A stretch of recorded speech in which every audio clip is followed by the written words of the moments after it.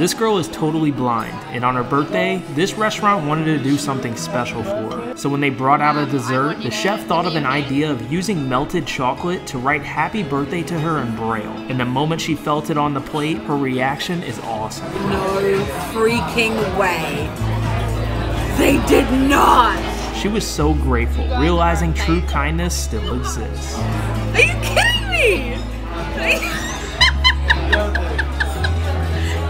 it's insane.